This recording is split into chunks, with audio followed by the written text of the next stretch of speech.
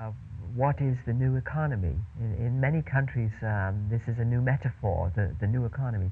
I'm very excited about this because it shows that uh, people have uh, recognized that this is a transition process is happening. And uh, what it means uh, on the material level is that we're moving from the fossil fuel based economies of the industrial era where we were bashing metal and um, uh, all of these manufacturing processes to economy uh, which is more information, services, uh, quality of life. And the, the, uh, the thing to look for is that from, we're still running the, uh, on the old statistics, the gross national product.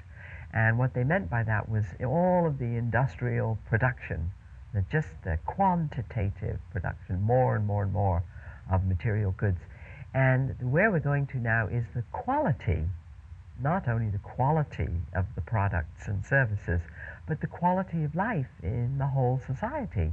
Uh, keeping the air clean, keeping the water clean, um, uh, meeting the new needs, um, education, um, tourism, uh, ecotourism, where people want to go and um, uh, respect uh, and learn from nature rather than live in a hotel in air conditioning, you know, and all of this kind of thing.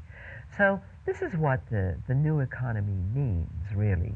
Um, so there are many different aspects of it. Uh, the shifting production base toward renewable resources and very elegant uh, new methods of working uh, with nature, but also evolving um, beyond uh, just the numbers of the GNP.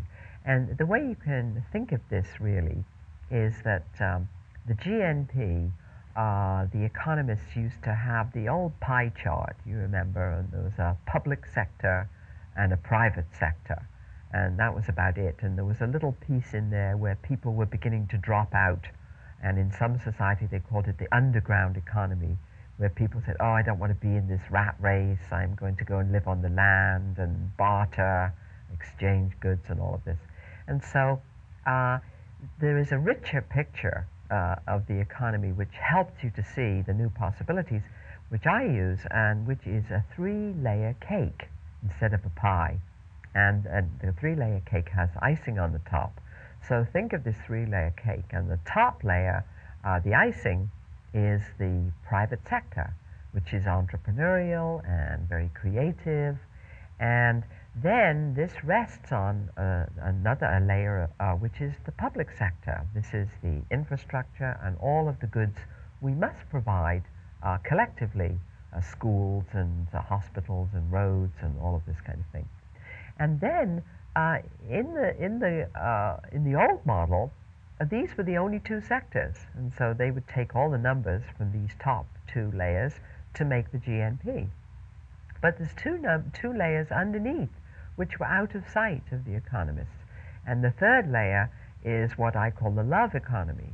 And this is where all of the new services industries are beginning to emerge, where people figure out how to do new service companies and non-profit organizations um, uh, uh, serving each other's real needs, uh, redesigning communities, um, helping with drug treatment programs, all manner of things, a new kind of health care.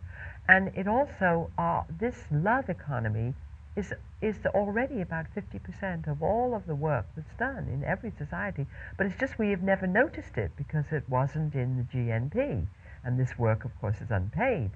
And then the last uh, layer of the cake at the bottom is the unpaid work of nature, which we don't notice. And nature is taking our wastes and processing them and keeping them clean and returning uh, everything uh, for us to use again. And um, we have, uh, unfortunately, the two top layers uh, of the old economy uh, have been cannibalizing the two bottom layers, the love economy and nature's economy, because we didn't notice them. And so now, when you have this uh, picture of all the layers, you see where all of the possibilities are uh, for the new jobs, the new services, uh, supporting the love economy, bringing it into the mainstream, and all of the environmental and the green industries and the green technologies of the future. Uh, and it will all be in the same accounting system.